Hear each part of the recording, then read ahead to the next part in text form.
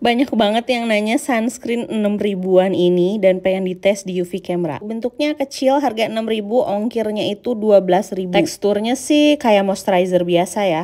Oke, setelah aku lihat packagingnya, sebenarnya ya dia tuh nggak ada tulisan SPF berapa, cuman ada angka 50, terus udah gitu ada tanda payung. Yang kedua, setelah aku cek, dia tuh nggak ada nomor BPOM-nya.